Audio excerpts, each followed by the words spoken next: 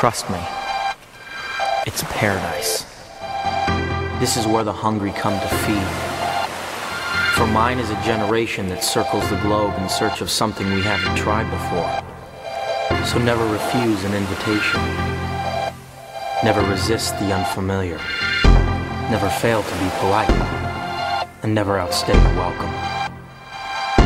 Just keep your mind open and suck in the experience. And if it hurts, know what? It's probably worth it. You hope and you dream, but you never believe that something's gonna happen for you. Not like it does in the movies. And when it actually does, you expect it to feel different. More visceral. More real. I was waiting for it to hit me.